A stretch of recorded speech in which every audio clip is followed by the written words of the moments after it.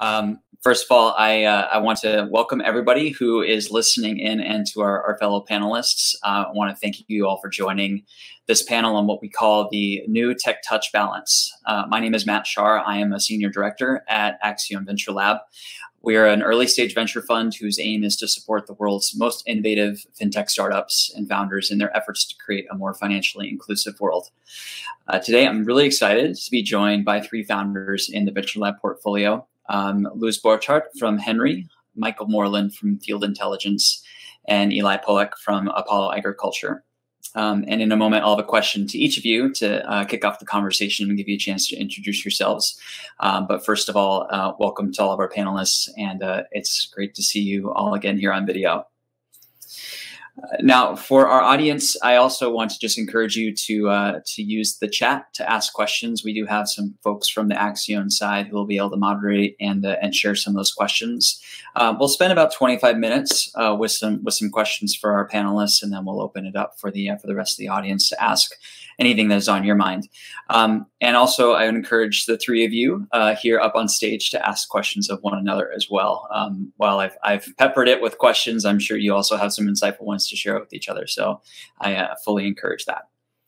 Um, let's uh, go and get into the topic, though. Uh, as mentioned, this is we're talking about the tech touch balance today, and uh, really, this is an important one in the field of financial inclusion, um, particularly in a world with continued continued expansion of what we call a, a, digitally native set of connection points with customers. A few areas of, of critical exploration need to come to mind. Um, first, it's where does the in-person relationship in that uh, in that tech come into play? And does being digitally native actually run the risk of being exclusionary? And how do we adopt the right balance to support the historically underserved? in their journey toward financial inclusion. Um, I also think it's really necessary for us to talk about this in the shadow of the ongoing pandemic because that really has also affected the shift in a variety of ways.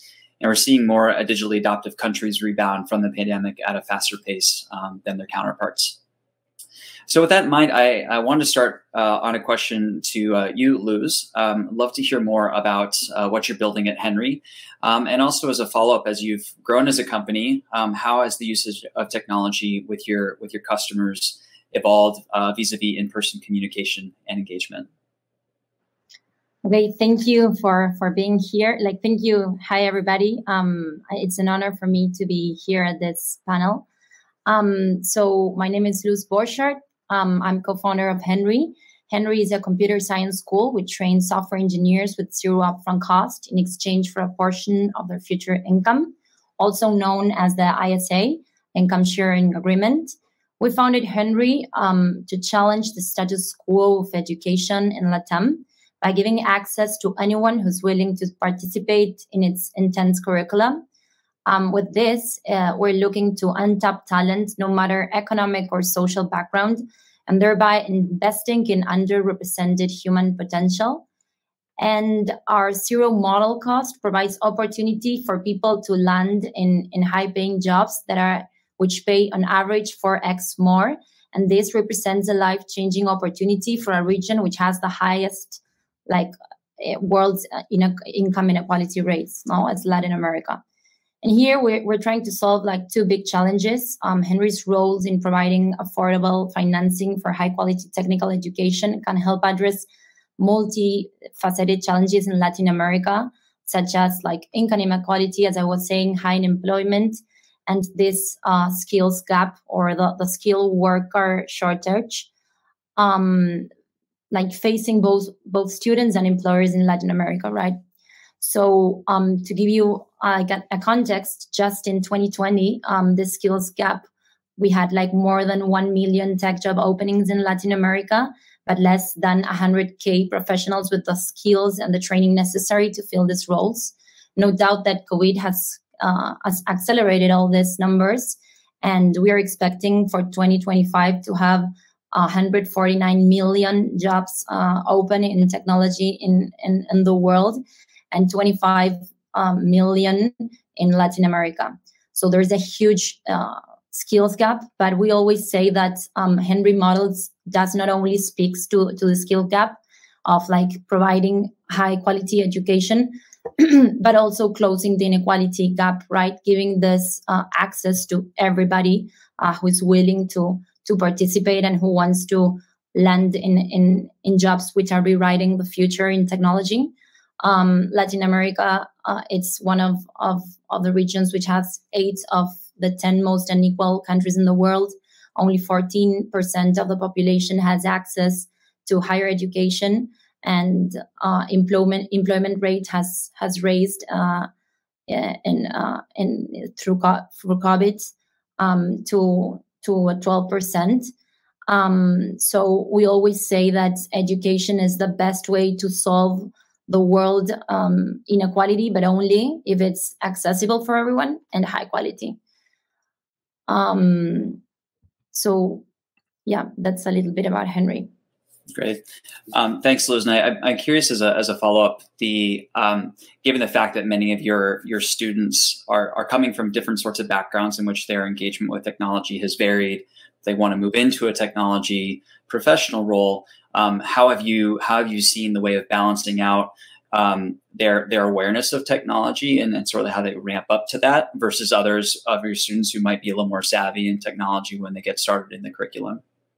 Yeah, well, that is a challenge we, we are also working right now, um, which is kind of educating the people about um, moving into technology in Latin America. You have countries which are all, like really um, conservative and traditional, and which all which rely on on super traditional education methods such as uh, in-person education, like this myth of um, delivering uh, an online education is not the same, or like the lots of barriers that we have to to break also um, regarding this aspect. For example there are lots of companies who ask you for a certification or for, for like kind of a degree an university degree and we're trying to kind of um, um, work upon those you know barriers. And it's super difficult for this like population to kind of un- to understand like why should i study technology right? Like why is technology a good opportunity for me? Like uh, so we're doing a lot of education around those topics in order to not only attract the super like tech savvy base um, but also the people who are not too aware about education. And in that uh, having said the, having said this um, our our back like our students profile is super diverse. We have people from all over latin america from uh, different uh, social classes. Um, we we we want like the we, we want the, the class to be super um, diverse and which represent a lot of you know culture and different backgrounds and by that we're we're trying to kind of of deliver uh, an experience which you know blends the the human interaction like with giving lots of um, live and online lectures but also in a super you know fast way and in four months in order to get employed. So the way we are doing to attract these people, um, which are maybe not too tech savvy, is to kind of show examples or stories of other Henrys, which which already you know go went from the, program and are working for companies in the U.S. and all over Latin America, and their own example, you know, their their own example of of moving into technology, of making a career shift, was the the way to kind of illuminating these people in order to to come um, and and to be on board in Henry. Great. No, that's that's that's really helpful context. Thanks, Luz. Uh, Michael, I'll turn the, the same question to you if you'd share a little more about Field and uh, and also maybe sharing a bit more about the context of um, your customer base, which is quite quite a different one compared to um, I think to, to Luz and Eli's. Um, so great to hear your thoughts on it. Yeah, sure. Thank you again, Matt, uh, and uh, and SOCAP.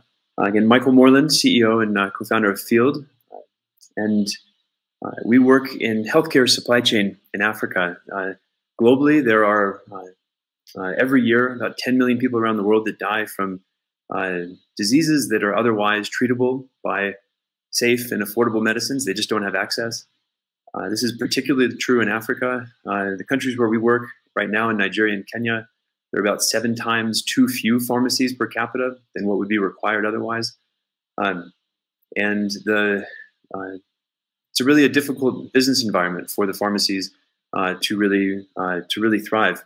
They are all small businesses, and they struggle with things that other small businesses struggle with, like use of data, very fragment, uh, the high fragmentation, um, access to finance, but then also the complications of managing pharmaceutical uh, supply chain.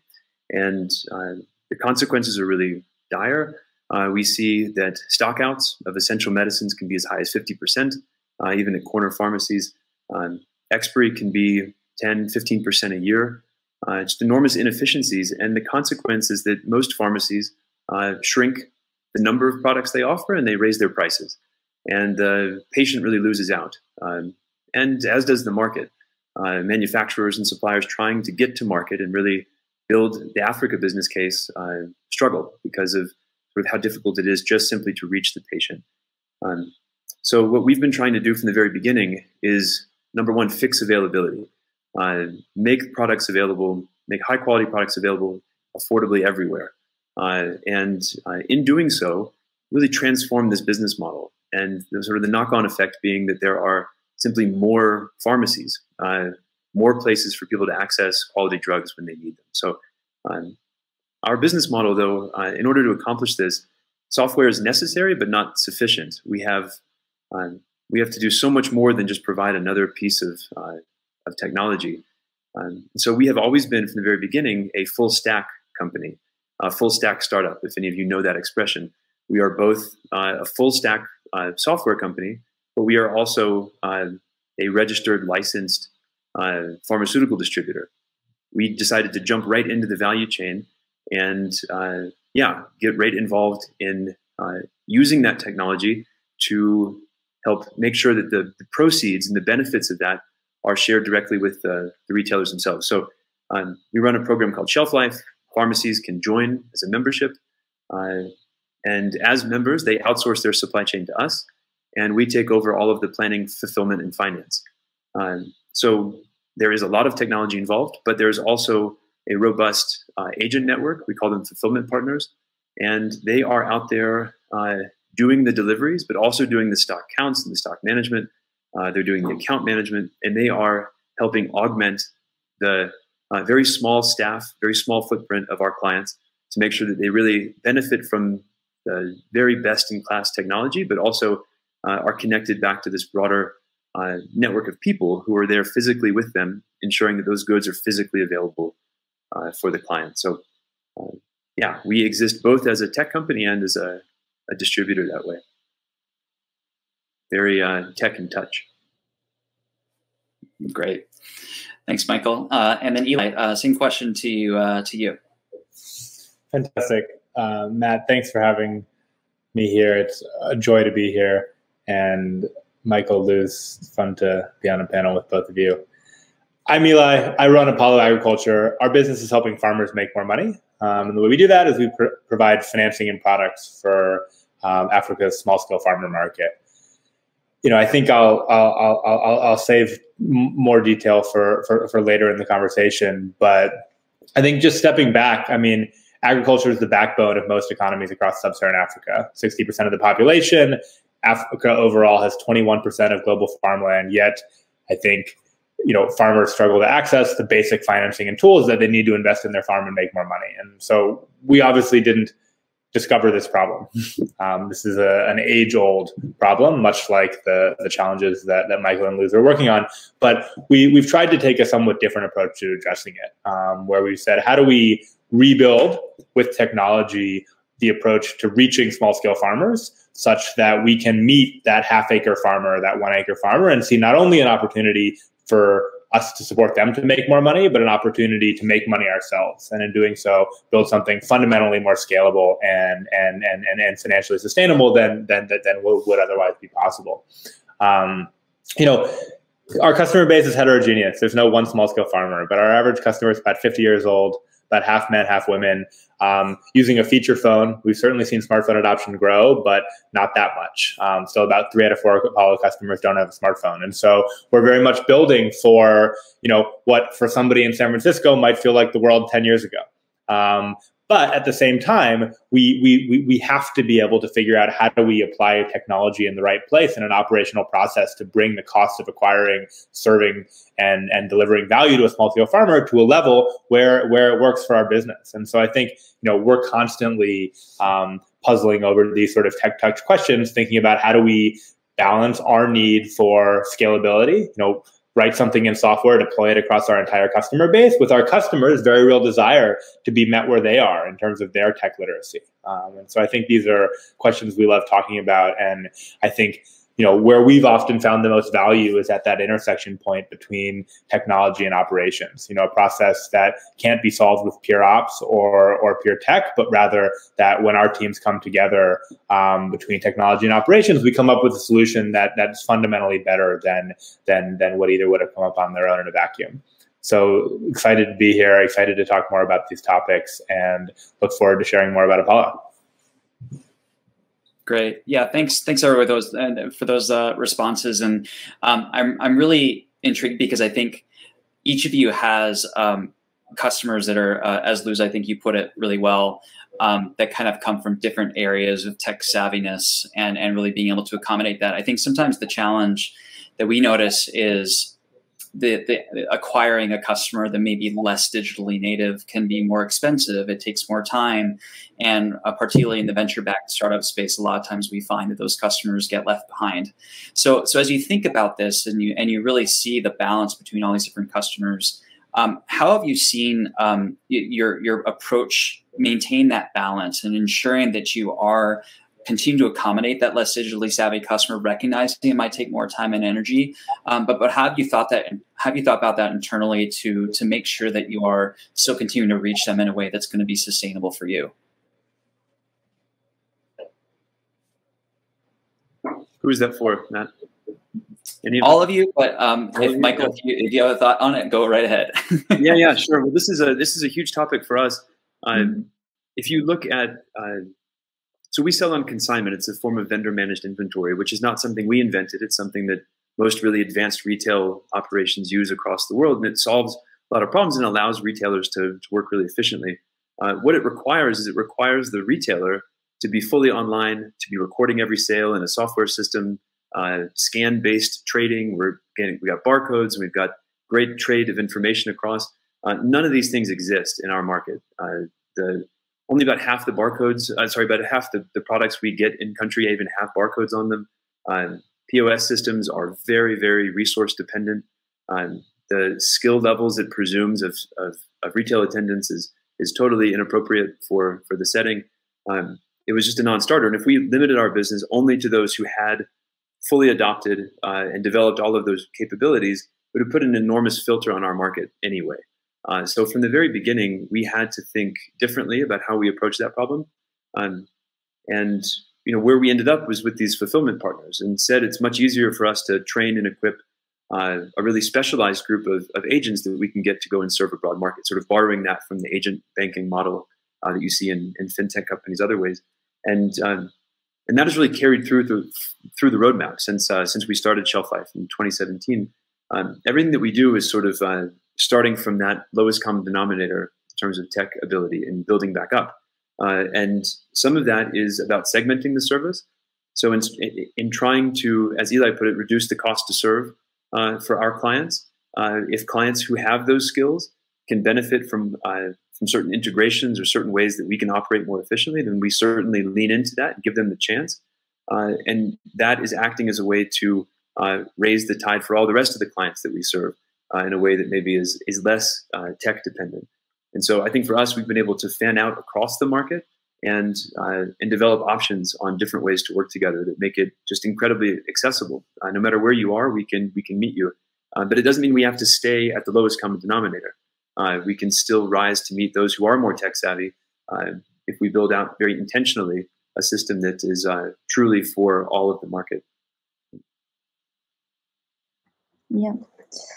Um, and and complementing with what Michael said on our side in Henry, um, we know that the traditional way of learning online probably won't replace um, in-person learning. That's why we were forced to kind of build a more complex education method, leveraging on our customer base tech savviness and different, like that there are different uh, diverse backgrounds. So what we did was deliver an online education which it's completely remote. It's a cohort which is completely remote, like accessing everybody in every corner of Latin America, no matter if you live in a big city or if you're in a, in a small town. Um, so uh, we build cohort-based education um, where you start uh, uh, start with a group of people who are going through the same experience. And second, when there is like people going through the same experience, um, we understood they could help each other, right? So we are working on collaborative methods, and by this, we're building a strong community. So how to keep on these people engaged, like and mixing different um, customers with different tech savviness approach. So building this this strong community um, through different methodologies, such as, for example, pair programming or project based. Um, uh, working on projects based um, from real world companies, um, collaborative learning methods as a whole. And all of these are enabled like through tech tools and, and technology who are like, which are implemented in our program.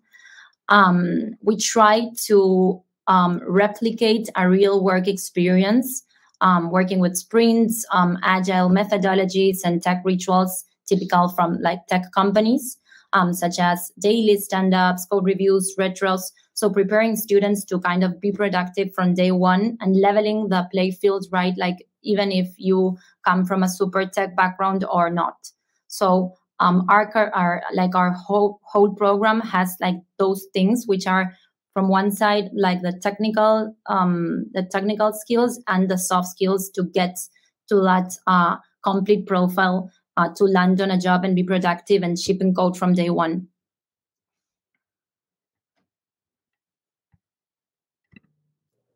Great, that's all really helpful. And I'm curious, uh, you know, as a uh, maybe to um, to your your um, customer base, Eli, given that you probably have some some um, farmers that that are just still um, you know relying on USSD and and that type of communication on a you know like I said on a feature phone versus those who might be more tech savvy. Um, have you thought through this and ultimately the the um, I guess the the full breadth of resources or services you provide depending on on a customer's tech savviness? Yeah, absolutely. I mean, I think that we've built from scratch for that feature phone customer and we also expect to be the first you know mobile app for farming that our customers use. But i think that we've definitely prioritized saying let's broaden the base of customers and make sure that we're meeting the needs of maybe not every customer. Um, but you know if we want to talk broadly about opening up the market at scale and then we say eh, if you have a smartphone you know that's inconsistent with what we're trying to do. It's inconsistent with the size of the market opportunity.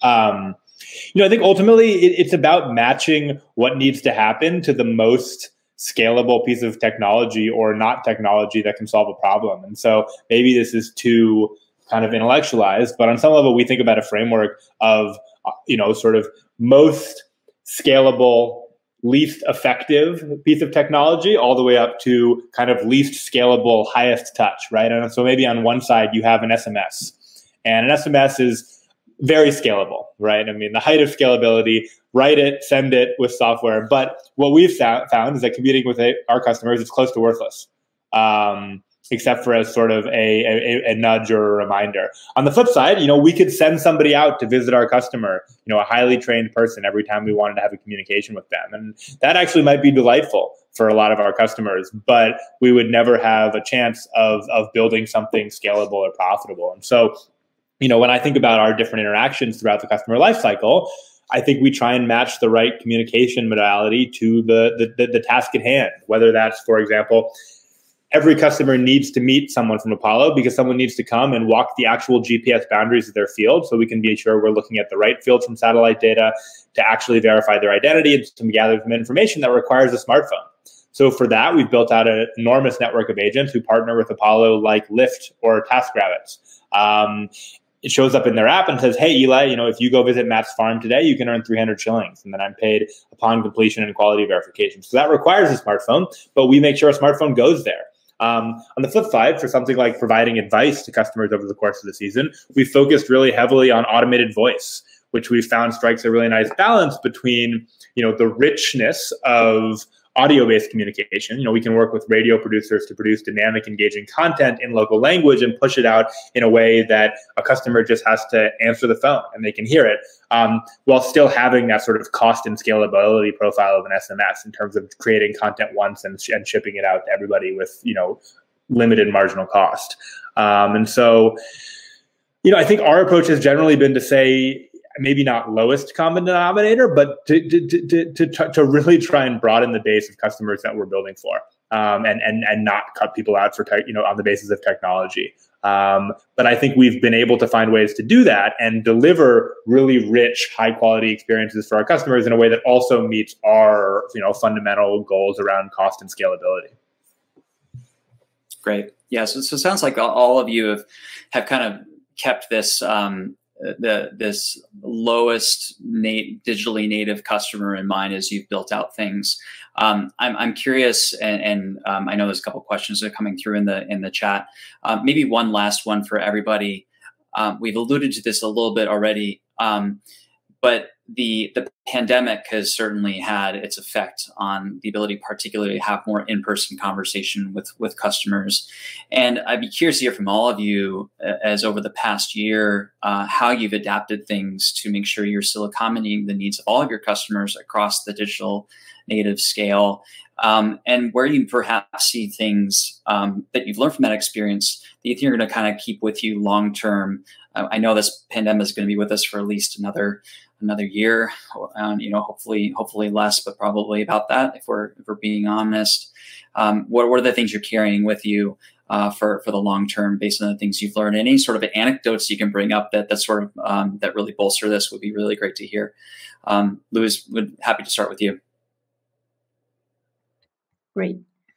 Um, so we still don't know how the after COVID world would look like, but what we always think and reflect with the Henry team is that we uh, planted a seed for the future in, in education in Latin America. Um, from my point of view, like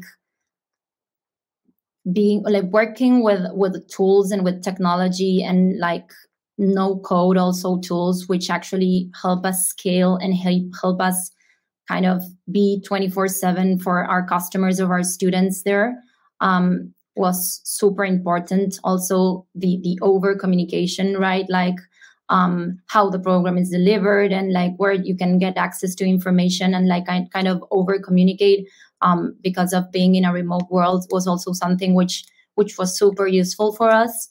Um, from my point of view, during these times, um, we were able to deliver high quality education in many places, um, which was impossible to think just a few years ago, right?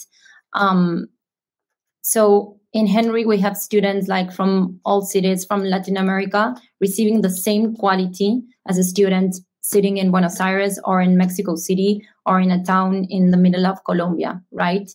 Um, so regarding how I think that um, the, the education system will continue like after COVID, um, I think that like the learning method online is is here to stay. Um, that learning method for reskilling, um, based on like cohort based live uh, lectures, online careers with practical work since day one, um, will be the best approach, right? Like um, understand what the companies are demanding and like teach careers and technologies which which fill these needs. I think that this is something which which which is going to stay in a in a learning in an online you know and live online and live so like with in, in interaction like in your in your maybe in your couch in your in your in your own house but completely working together with our community. Like you are not navigating this alone. Um, this community and this networking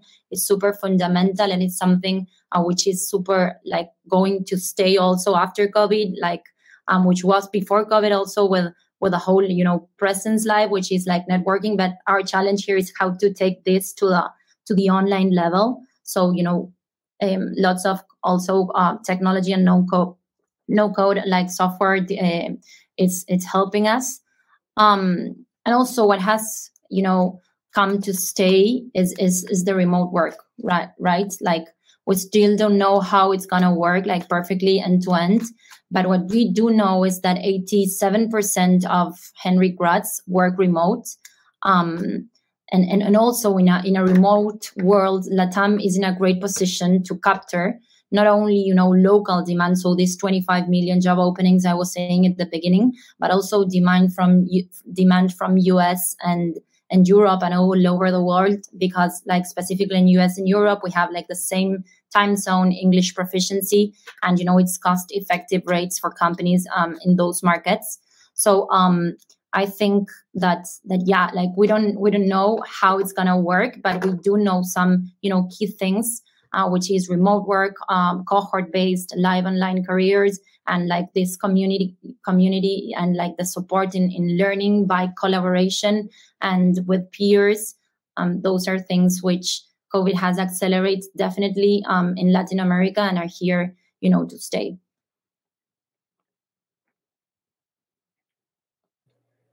Great. Thanks for that. Uh, michael eli any any additional thoughts you know i mean just super briefly you know we didn't build a business that we just wanted to be sort of pandemic resilient, right? We set out to build a business that could reach the needs of small scale farmers, um, full stop, right? And we wanted to do that in a way that could be scalable and cost efficient, driven by technology. But I think it turned out that a lot of the stuff that we did along the way, um, in order to do that, put us in a really solid position when you know when lockdown came into effect in Kenya, when travel restrictions came into place, um, and so on. And so, you know, obviously this has been a you know a challenging last 18 months but i think you know farmers are farming people are eating you know the opportunity is bigger than ever and i think if anything we feel like you know we've been able to operate with quite a lot of continuity um, and so I feel really, really grateful that that, that, that, that, that's that's been the case. And I, you know, I yeah, I, I don't think that you know I, I don't know what what it looks like to go back to quote normal end quote, but I, I you know I don't expect our business to to to sort of start suddenly doing a lot of stuff in person again, in, in, beyond what what we need to to deliver value to our customers. Um, yeah, Michael. Before you before you um, offer some thoughts on the question, yeah, uh, Mackenzie in the chat had had a, a interesting follow up that I think is relevant. Is hearing um, if there was any specific feedback that you had gotten. So it sounds like fundamentally, I'm hearing that that you've you've already you were already in a position where you're able to accommodate customer needs. But were there any particular elements of feedback that helped you sort of adjust your approach to things that, that you saw some things from a strategic perspective but but during this past year or so were, were notable saying oh like we probably should be emphasizing x a bit more based on some customer feedback loops um, michael if you want to incorporate that into into your response to the question but also luz nila if you want to offer a follow-up to what you'd shared before i think that'd be really helpful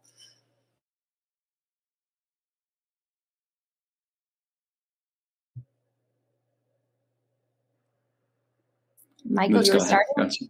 Okay, I start. Um, sure, yeah. So, um, completely, like definitely, we feedback is you know in the heart of every Henry decision. Um, we are taking constantly feedback from from our customers, and for example, one thing that we are actually you know working on right now, um, an example, an anecdote here is that um, we have a, a full time career right now, right? Like full stack, full time career. And this, um, in a region also with highest inequality rates, obviously make that, you know, people who are actually working, it's impossible for these people to kind of access to this education, right? So we we launched last year, and since like last year, we have lots of um, prospects or customers talking about like why don't we have an, an offer like why don't we offer to the market a part-time um, a part-time program right um, and we started recurring feedback um, on how this part-time you know program should be and we started kind of you know building together the program. So we co-created um, together with our customers together with a target which couldn't you know apply to henry but was willing to change their lives you know working maybe in a call center to that, that person wanted maybe to start working uh, in technology or policemen's um, working in, in cybersecurity. So um, so we co-created the program with them. We took, you know, feedback and we make kind of a pivot, a small pivot. You know, it's the same but part-time, but maybe it wasn't in a roadmap. But you know, um, in the middle of pandemic, people, you know, understood uh, with this whole of you know education in technology is the, the the brings a lot of opportunity, a lot of you know high paying jobs and so on. So people who were actually working and couldn't you know leave their jobs came to us, you know, knocking the door saying, hey, like we would love to have a part time program. And there, well, like we said, okay, like sit in the table and you know design it with us. Um, and we designed a program we're actually about to launch. And, and, and for us, that is a, an example of feedback and how we, you know, pivoted and, and understood their situation in a COVID, you know, um, context where actually they couldn't, you know, move forward um, um, because they needed to work. So, yeah, that is one example in Henry.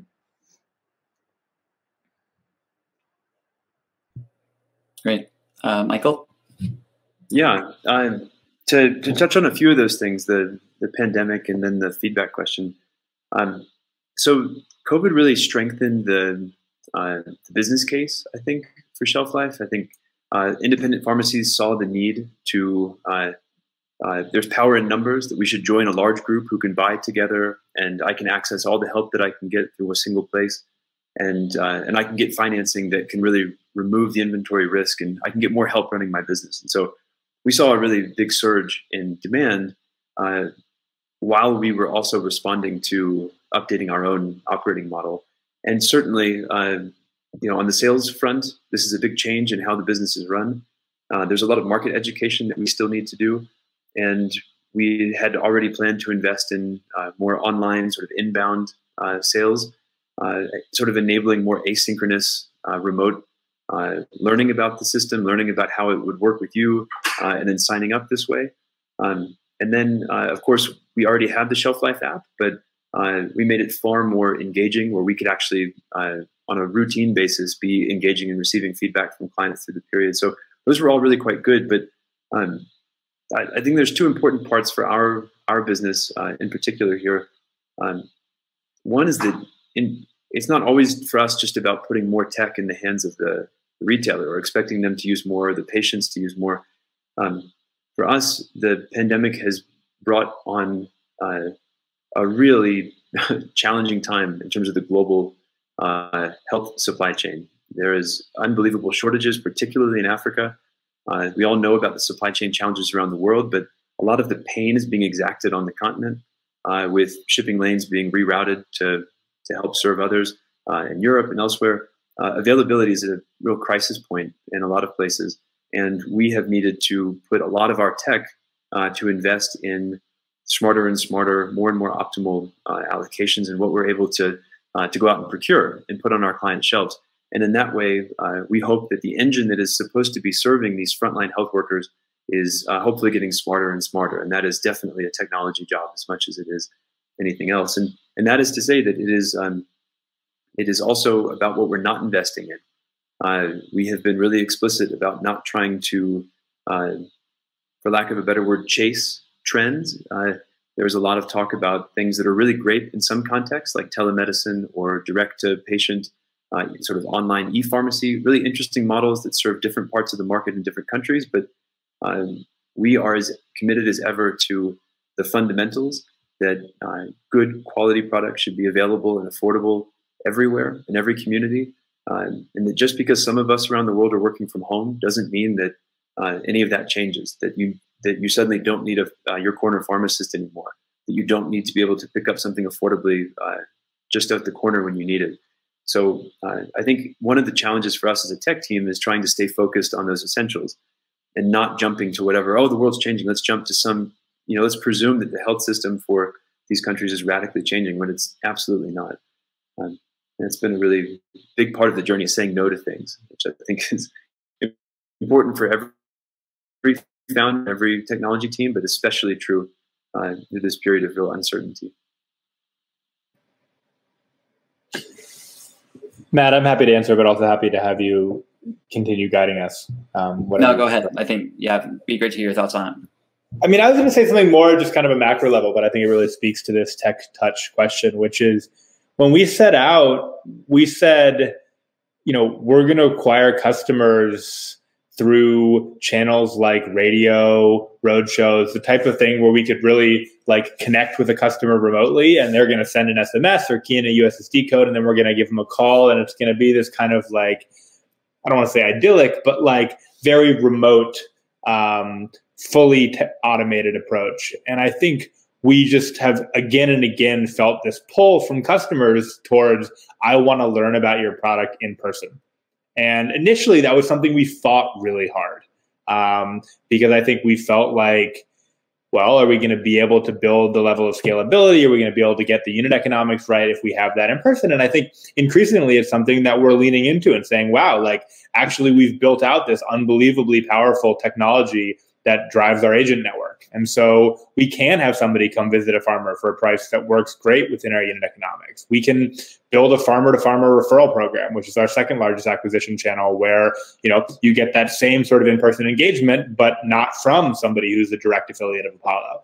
And so, you know, I think we've felt pre-COVID for sure, and, and and still throughout COVID, a lot of customer pull towards in person. You know, saying, "Sure, I heard about you on the radio, but you know, I, I, didn't know if it was real until I talked to someone, right? I want to talk to someone who who I go to church with, or who you know who who I speak the same language as, or who lives in my community. And so, you know, I think we we've adjusted, and I think it's been it's been actually fine. Um, but it but I think you know we actually had to pull back in some ways from and, and add more touch in response to what our customers were not just saying, but also demonstrating in terms of things like conversion rates across the funnel for channels with less touch versus channels with more touch.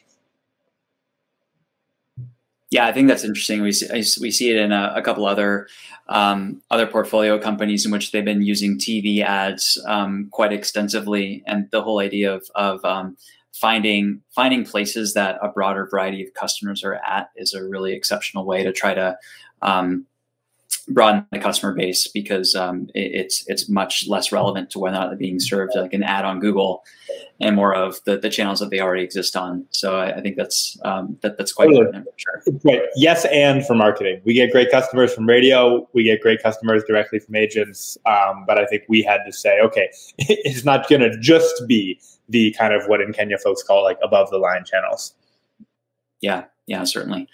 Um, I'm I'm realizing we are so we're almost done with time, which is um, which is which is interesting. I, I realized like we could probably talk about this for hours. We really wanted to.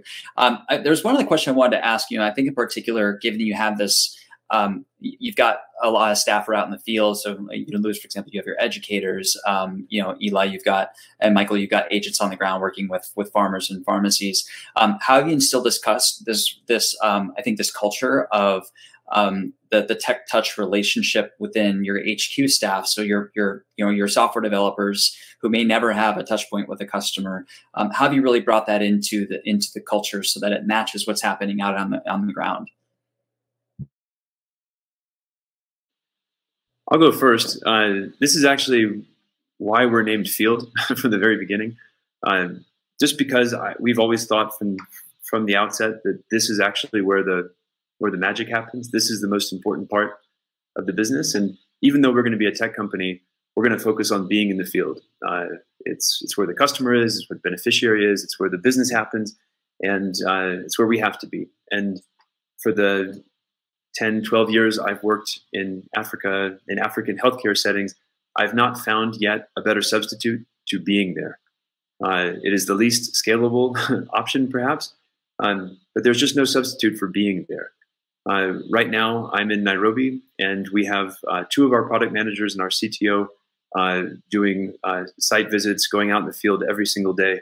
Um, we have a now that we can travel again uh, all of our teams in Nigeria, Kenya, and our small office in Berlin are all rotating.